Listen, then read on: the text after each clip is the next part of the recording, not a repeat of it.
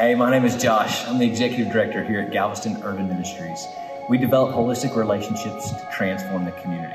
The way we do that is through three different areas. One is community revitalization. That's where we take time to reinvest in our community, whether we're cleaning up the trash on the streets, where we're loading old couches from dumpsters in a trailer, or we're actually taking back old properties that were um, beat up and rebuild them to make them places of life and places that can be used.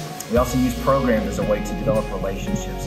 This is where we do a deep dive into the life of people to help them understand what their purpose in the life is um, by God.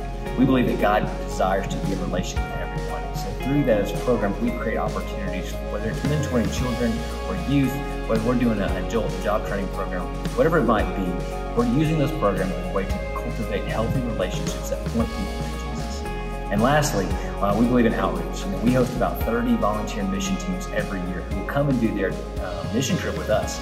They spend time working on that community revitalization, investing in our programs, doing community outreaches and block parties. We do all of this because we believe that God has called us to be sojourners into the world to make his name known. The Great Commission is to be lived out by all of us in every place. We'd love to tell you more about who we are as an organization, but you can find us on our uh, social media, um, Instagram, Facebook. You can go to our website to check out more about who we are.